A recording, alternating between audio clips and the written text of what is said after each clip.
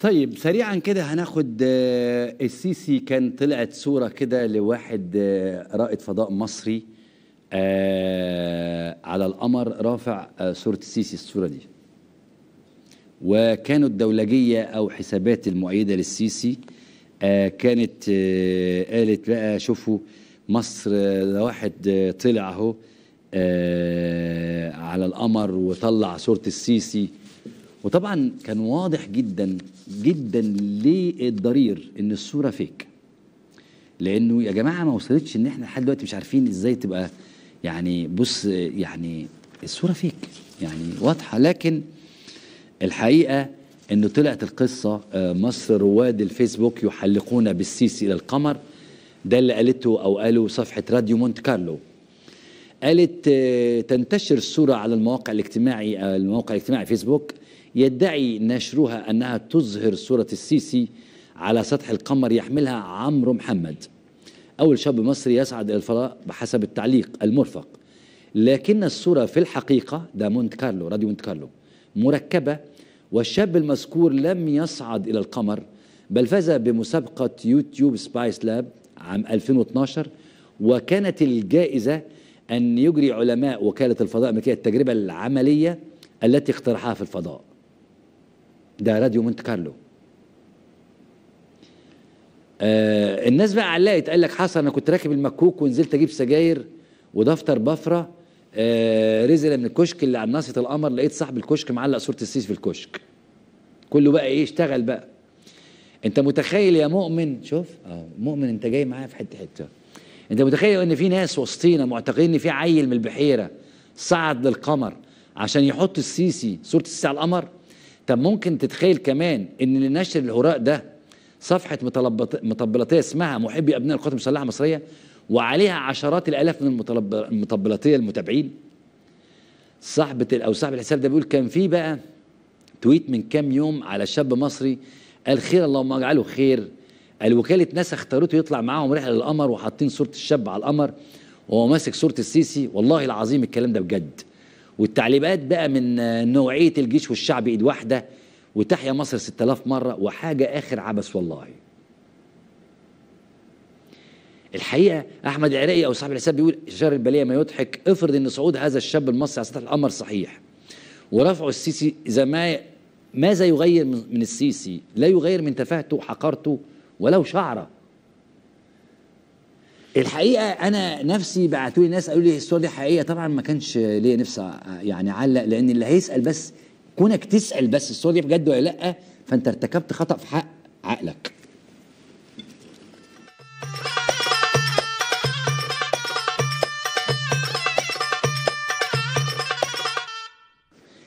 الحقيقة إنه الخبر اللي جاي إحنا لقيناه على الدوتش فيلا فلما انت تبقى مصري وتشوف خبر على الدوتش فيلا بالشكل ده تتضايق. الخبر بيقول تحليل مش خبر. مصر ارتفاع حد حدة التعاسة رغم معدلات النمو العالية. دوتش فيلا دي قناة وموقع إخباري ألماني. ألماني.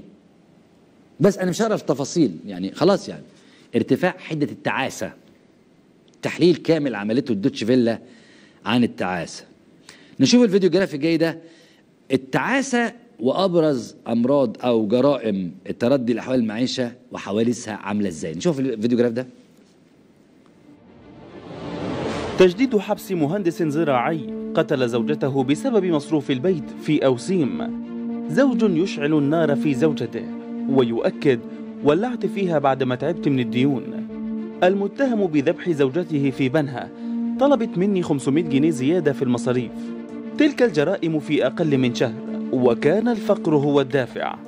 اللي ظروفه صعبة يفضل يشتغل لما ما ينامش عشان يغير من حياته. شهر يوليو 2019 سجل معدلات مرتفعة في جرائم القتل بأنحاء الجمهورية.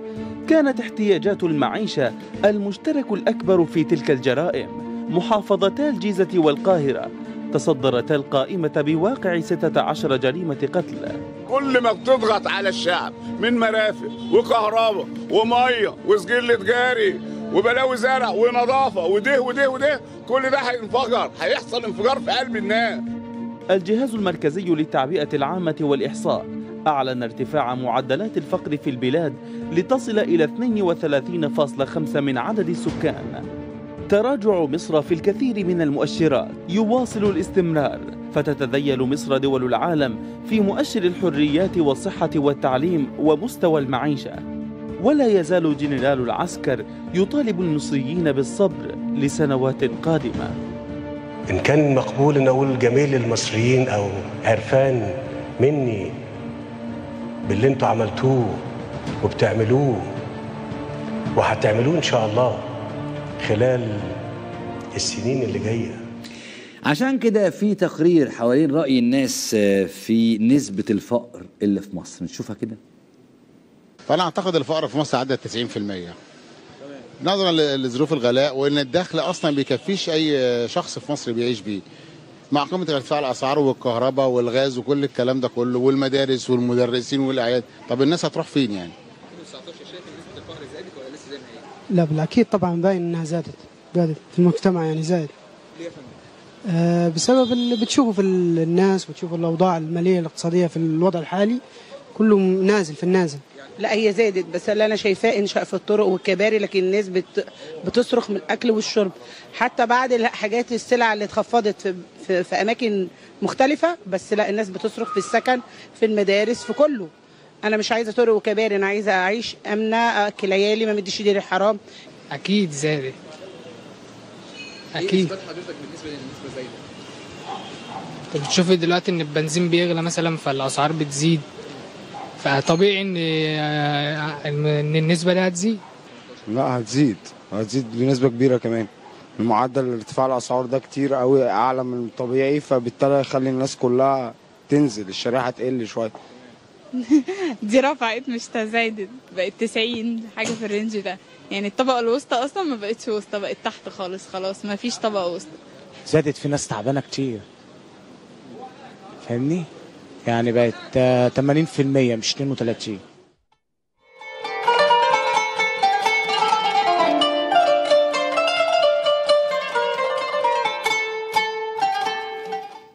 متحدث ال- الرئاسة بيتكلم على إنهم وقعوا عقد مع آه، يعني السيسي وقع عقد مع شركة اسمها بومبارديه العالمية في مشروع القطار المونوريل ده آه، وأهمية المشروع بالنسبة للعاصمة الجديدة يعني آه، فهو مبروك عليكم هيبقى عندكم قطار في العاصمة الإدارية الجديدة وده هيدفع من فلوسكم يعني. حاجة جميلة جدا الحقيقة في مدينة 6 أكتوبر والعقد يتضمن الإمداد بقطع الغيار. آه، تكلفة المشروع ده كان زمان اتكلمنا عنه خلاص يعني هو خلاص يعني الراجل هيعمل قطر كهربائي كله بالكهرباء. كان تكلفته زمان كنا جبناها مرة تكلفة ال- القطر ده أهو 3 مليار يورو. كان في شركة بريطانية تشارك في إنشاء وصيانة خط المونورويل ده بالعاصمة الإدارية ب 3 مليار يورو. معلش يا علي معلش. مش قادر مش قادر يا علي مش قادر. سوري يا علي. لازم أسمعك الرقم لقيت الرقم. بمناسبة ال 3 مليار يورو دول اللي راحوا على قطر مكهرب لقيت الرقم. المستشفى بتاعت بورصة اللي جبناها لكم دي اللي اتفتحت النهاردة على مساحة 745 ألف متر. تحتوي على 1355 سرير. فيها 49 غرفة عمليات. 49 49 غرفة عمليات. تستطيع استقبال أكثر من 2100 شخص لقسم الطوارئ خلال يوم واحد. طوارئ تستقبل 2100 شخص في يوم واحد.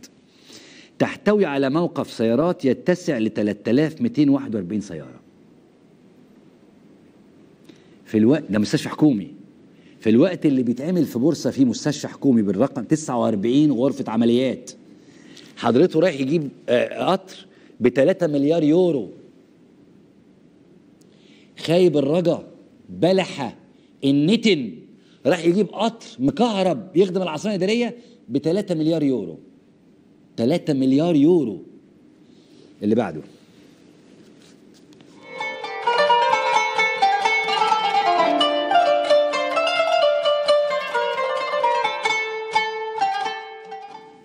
ألف مبروك. التموين هيتظبط من هنا ورايح لأنه الجيش الهيئة الهندسية أو يعني الإدارة الهندسية استحوذت على تطوير مكاتب التموين كلها. أهو الخبر بيقول الحقيقة إنه ال- البيزنس الجيش الإدارة الهندسية تستحوذ على تطوير مكاتب التموين لا عزاء للمقاولين والشركات الخاصة. وهو في تلت- 535 مكتب. الناس هتشتغل بقى في كل مكاتب التموين على مستوى ال- الدولة وبالتالي الهيئة الهندسية طبعا ما عندهاش الكفاءة دي من العمل ومن المعدات فهتسلم لمؤملين من تحت من الباطن. ولا عزاء لشركات المقاولات.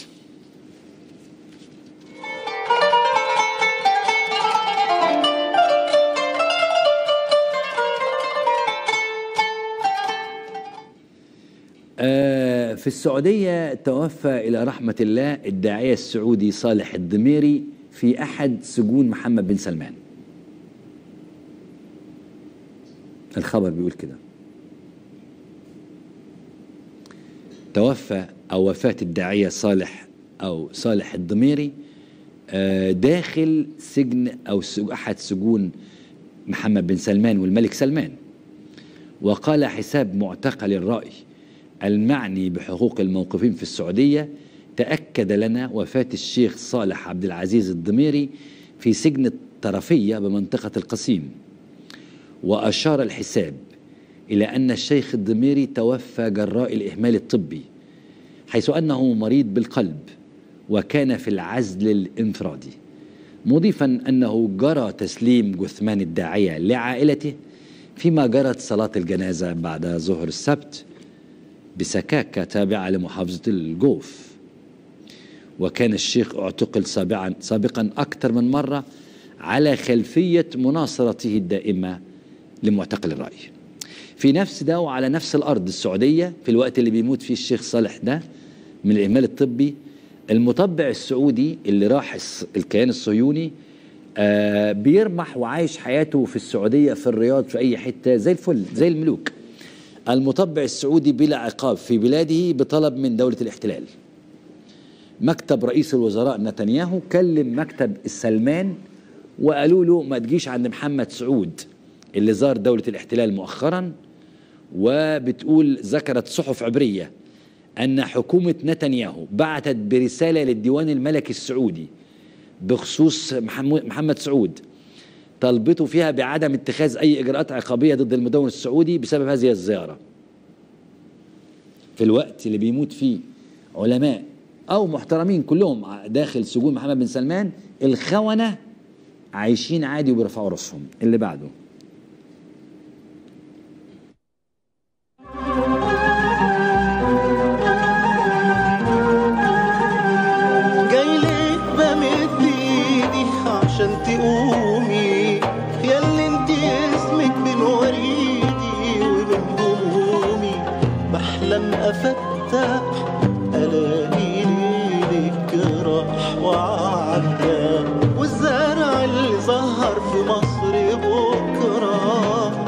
كان اصله طالع في مصر النهارده.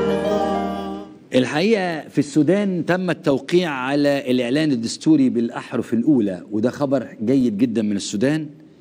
وبعد ما آه، سقط شهداء من أبناء من أطفال السودان في كام يوم حوالي تسع أشخاص أطفال يعني في مظاهرة المدارس قعدوا المدنيين مع العسكر ووقعوا بالأحرف الأولى. أنا ما عنديش مشكلة. بالعكس أنا سعيد جدا للسودان لكن عندي ملحوظتين. أي حاجة تباركها الإمارات أو السعودية أنا بقلق منها. والسعودية والإمارات بيباركوا الموضوع ده. أي حاجة أي حاجة هيمد إيده النظام السعودي فيها أو الإماراتي أنا بقلق منها. لأنه انجس نظامين على وجه الأرض هما النظام السعودي والنظام الإماراتي وطبعا توابعهم قفه ده عبد الفتاح السيسي ده قفه ده ملوش أي معنى يعني. ال- ال- الإمارات والسودان انبسطوا جدا من التوقيع ده آه، والسعودية. أنا قلقان من دي. هي الريحة يا كريمة ريحة نظلة. نشوف الفيديو graph ده اللي أو الفيديو لتوقيع الاتفاق بالأحرف الأولى ونطلع فاصل قصير واستقبل الأستاذ آه، لا هناخد المانشيت الأول. يوقع. عن المجلس العسكري الانتقالي الفريق أول محمد حمدان دقلو نائب رئيس المجلس العسكري. وعن قوى إعلان الحرية والتغيير الأستاذ أحمد ربيع.